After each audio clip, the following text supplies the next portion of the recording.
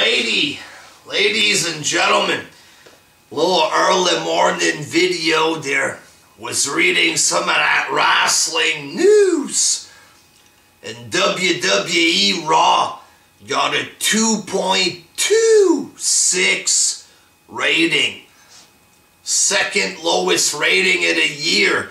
Um, and they are lucky, fucking lucky that they got a 2.26. Last month they went down to a 2.20. Very, very, very lucky to not go fucking below a 2 with the garbage friggin' product that they aired Monday night there. A show revolving around the plant.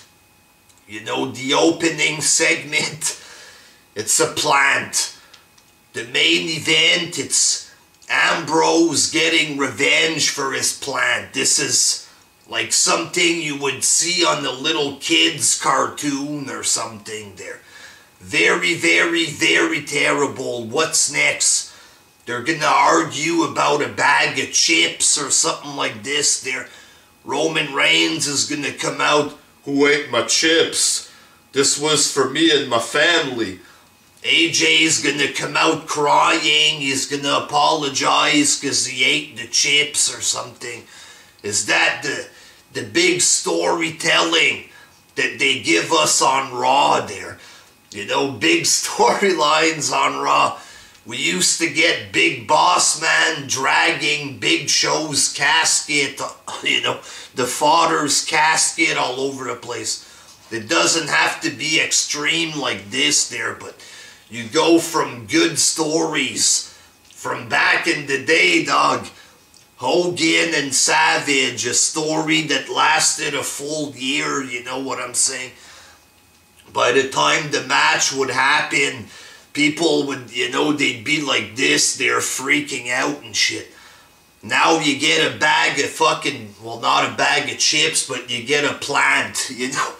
That's your fucking stories in 2016. Motherfucker needs to get revenge for a fucking plant. Embarrassing. Very, very, very embarrassing. And the matches on this show were fucking horrible. You know, Sin Cara beating Rusev in a minute. Motherfucking Goldust, Fandango, all of that fucking garbage. They are lucky, lucky that they got a 2.26. You know what I'm saying? Keep it up, WWE. You're gonna get a fucking 0.9 if this shit continues. Very bad. Very, very, very bad Raw.